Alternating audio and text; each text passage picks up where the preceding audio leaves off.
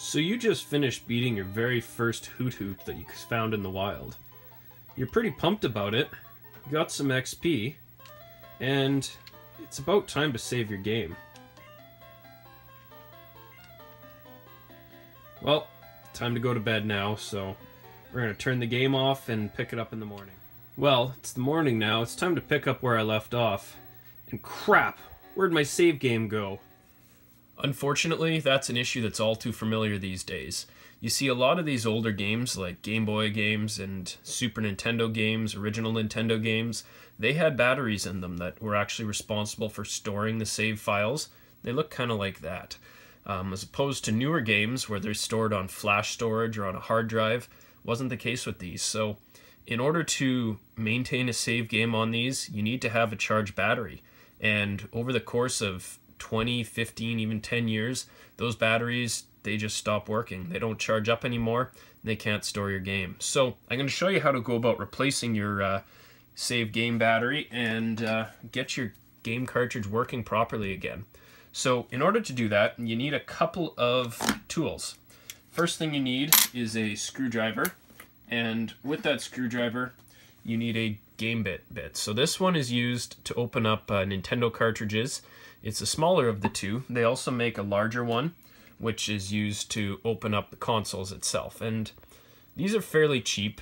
You can buy them on eBay for a couple of dollars each, and it really is a huge time saver because the screw themselves is a very specific screw, so you're not going to be able to get that out with any type of screwdriver. You need something specific like this. Now, there are ways to get it out without uh, doing that, such as I've heard of methods that involve melting a pen and molding it around the metal, but this is just so much easier. Um, as well as that, you may need a little bit of solder. So this solder is 0.8 millimeters. It's a 60-40 lead tin or tin lead ratio, I think.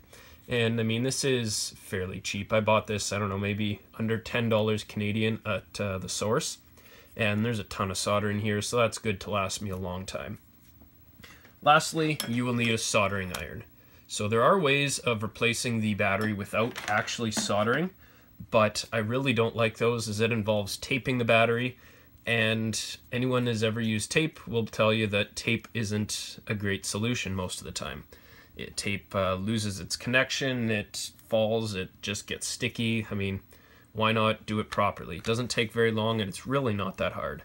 First thing you want to do, open up the cartridge itself. So we use our screwdriver bit and just simply remove that screw.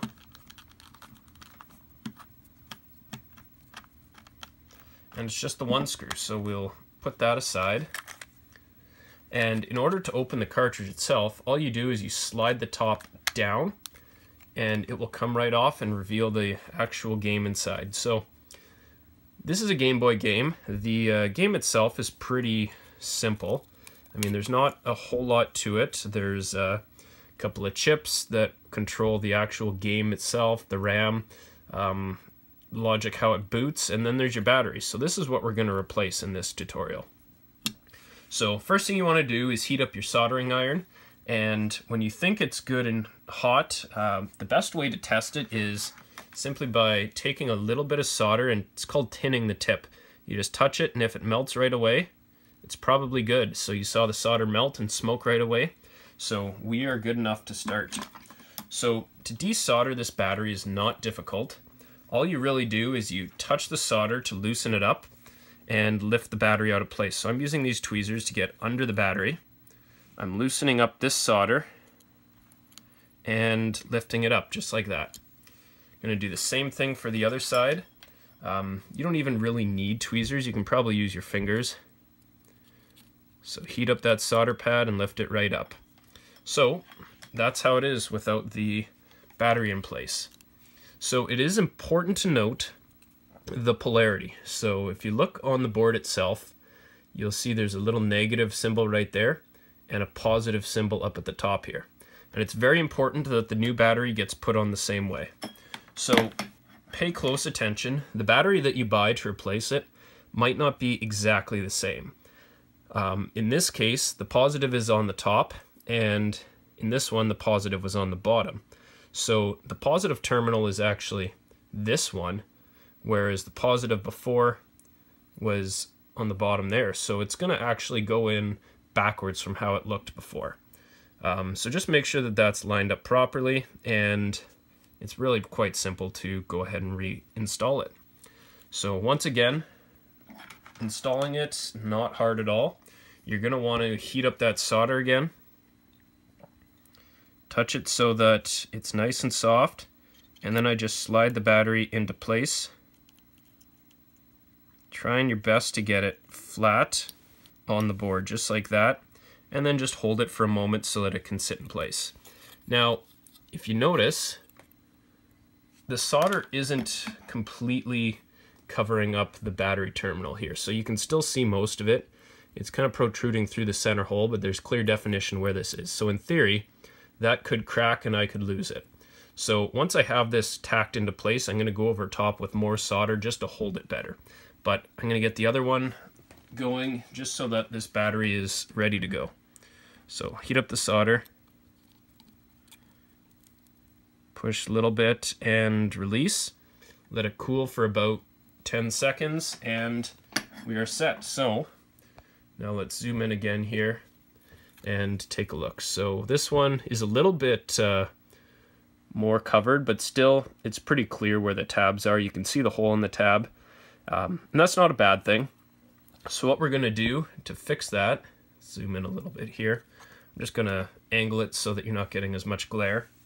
So in order to fix that, all you're going to do is just add more solder.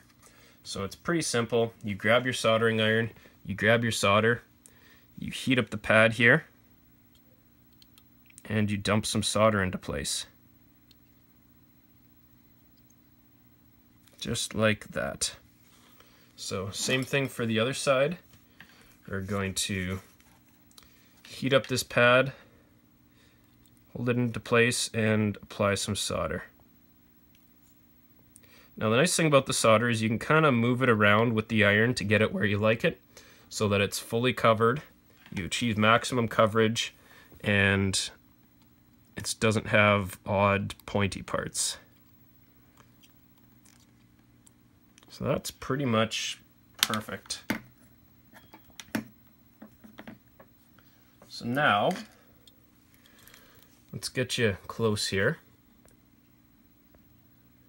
So as you can see, the solder blob completely covers each tab. Um, you can't see the hole anymore. That battery's not going anywhere. I try and wiggle it and it's firmly into place. You notice the positive is on the top and this arm's going down to the positive terminal. Same with the negative. Negative's attached to the negative where it needs to be. So while I have the game open, um, I'm going to use this as a great opportunity to clean those contacts because again, we're talking about a game that's probably about 15 years old, give or take a few. So over time, it's just gotten a little bit tarnished. It's going to get buildup of oxidization. Um, it's not necessarily rust, but it's just dirty and it's not going to read properly. So to do this, all you need is a Q-tip and a bottle of 99% isopropyl alcohol. So the process is really very simple. Dunk your Q-tip in the alcohol, and you just start scrubbing.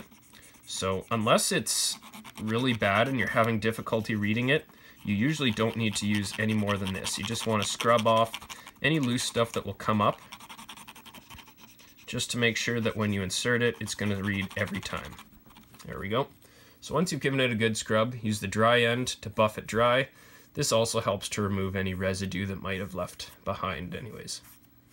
Perfect. So now that we're uh, ready to go, Let's put it back into the cartridge and screw it back together. So once again, all you need is that special security screw that you removed up before. Put it in the bottom and screw it into place.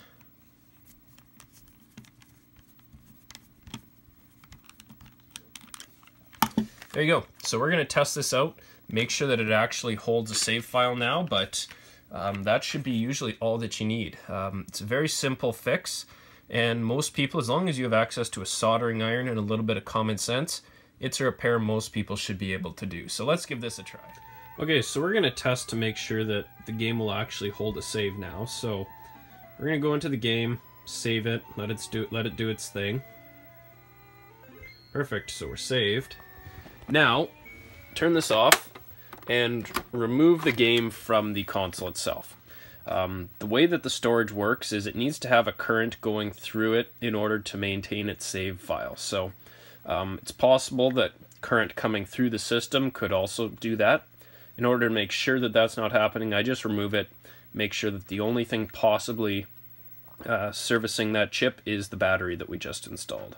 So in a few seconds, we'll put it back in, start the console up, and see what we've got here.